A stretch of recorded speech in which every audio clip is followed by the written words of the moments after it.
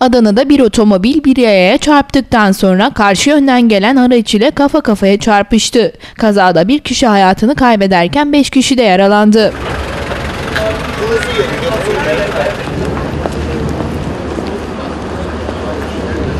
Edinilen bilgiye göre kaza saat 20.30 sıralarında Şakirpaşa Caddesi üzerindeki itfaiye müdürlüğü önünde meydana geldi. İddiaya göre İsmail Teker yönetimindeki 01 BTF 37 plakalı otomobil karşıdan karşıya geçmek isteyen Mehmet Diribaşlı'ya çarptı. Otomobil daha sonra karşı yönden gelen Eser Ölmez yönetimindeki 46 FS 186 plakalı otomobile çarptı. Kazada Mehmet Diribaşlı olay yerinde hayatını kaybederken sürücüler İsmail Teker ve Eser Ölmez ile eşi Zeynep, kızları Kardelen ve Naz Ölmez yaralandı. Yaralılar ambulanslarla Adana Devlet Hastanesi'ne kaldırılarak tedavi altına alındı.